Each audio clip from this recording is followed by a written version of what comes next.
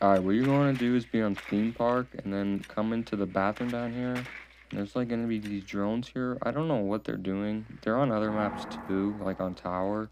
Uh, I don't know why they're in this game. They're just invisible drones that just kind of sit here. And there's no reason for them to be there. And then once the round starts, you're going to come in here.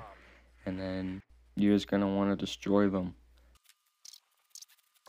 Alright, once the round starts, you're just going to run into the same room I was just in on my drone. And then once you get in there, just destroy the drones. So I'm just going to run in there quickly. Alright, now that you're in here, you're just going to want to shoot them. You get like 100 points. I don't, like I said, I don't know what they're doing in here.